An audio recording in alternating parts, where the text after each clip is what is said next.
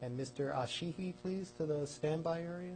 Sir, your full name Andrew Thomas Lauro, and your date of birth. 5291. All right, sir, you are here on uh, four new accusations. Uh, Two counts of uh, murder in the first degree during a uh, felony crime, that's a Class 1 uh, felony.